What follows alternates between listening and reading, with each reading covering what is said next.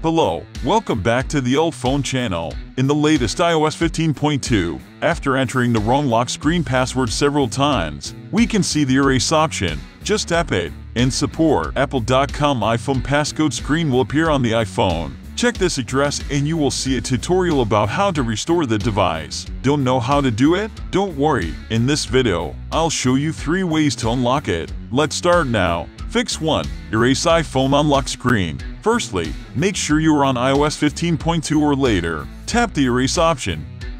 Continue erasing. Just enter your Apple ID passcode. The iPhone will start to restore automatically.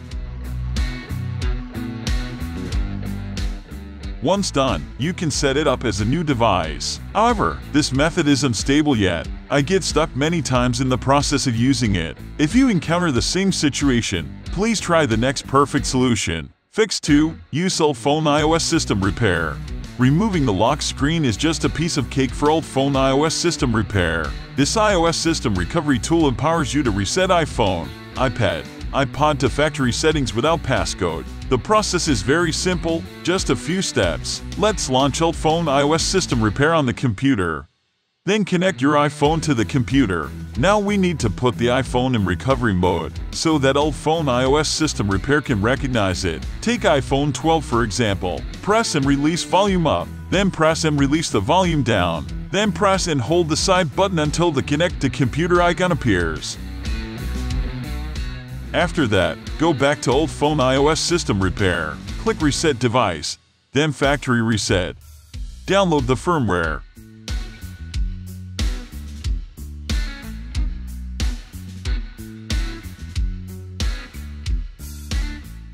After the firmware download is completed, let's start to reset.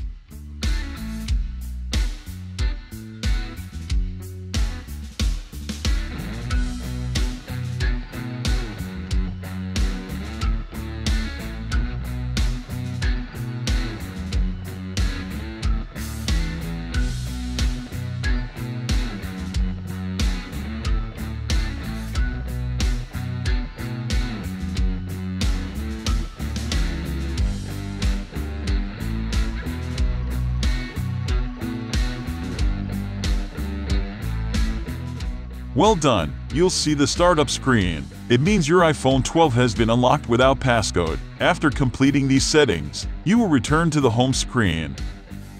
Besides, UltFone iOS system repair can fix more than 150 iOS system issues like Apple logo, reboot loop, and black screen without data loss. There are many useful functions for you to experience. Finally, there is the last method. It requires you to have credentials to your iCloud ID connected to your device and have Find My feature enabled. So, let's get on with this solution. Fix 3. Use Find My. Open iCloud.com on your computer. Just sign in your Apple ID. Then go to Find My. Click All Device on the top. Select the device which is locked, and then click the Erase. After following the prompts, it will start erasing.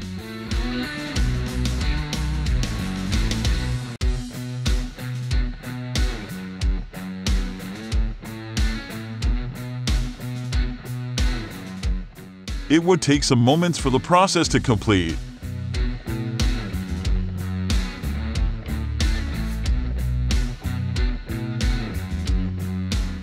Your iPhone will restart and will be ready to use. So guys, that's all for today's video. If you think this video is helpful, don't forget to give it a thumb up. Thanks for watching. Have a nice day. See you.